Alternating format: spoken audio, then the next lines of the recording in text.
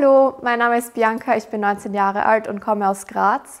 Und ich habe das letzte Jahr in den USA und genau gesagt in einem Vorort von New York City verbracht.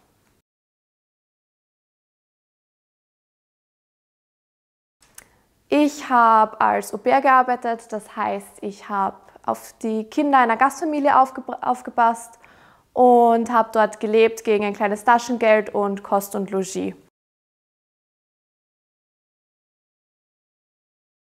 Mein schönstes Erlebnis war ein Helikopterflug über Chicago mit zwei von meinen Freundinnen, die ich in Chicago getroffen habe.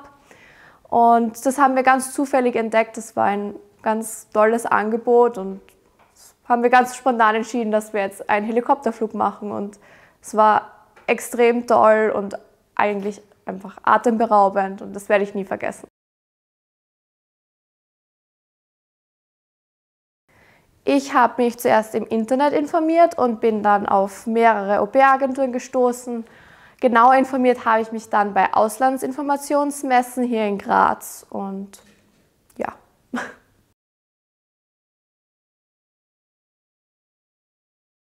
Mich hat mein Auslandsaufenthalt sehr verändert, würde ich sagen. Ich bin offener, mutiger und selbstbewusster geworden und ich habe auch keine Scheu mehr, auf Englisch zu reden, was ich vorher schon hatte.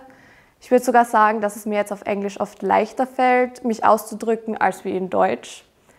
Und das war ein, eine sehr spannende Erfahrung für meinen ganzen Charakter eigentlich.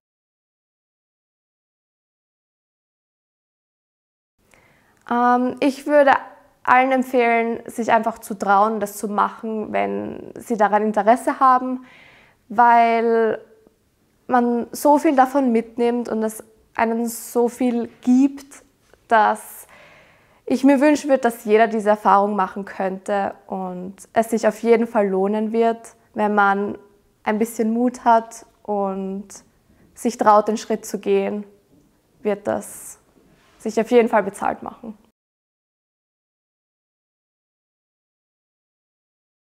Also ich habe hier eine Weihnachtssocke mitgebracht. Das ist ein ganz ein traditioneller Gegenstand in den USA. Das hängt meistens über äh, einem kleinen Kaminfeuer zu Weihnachten und wenn Santa dann kommt, wird das gefüllt mit kleinen Spielsachen oder Naschereien. Und meine Gastfamilie hat für mich eben einen personalisierten äh, Socken mit meinem Namen drauf gemacht, was mir sehr viel bedeutet und mich noch mehr als Familienmitglied hat fühlen lassen. Deswegen hat er für mich auch einen besonderen Platz in meinem Herzen und werde ihn vielleicht auch dieses Jahr aufhängen.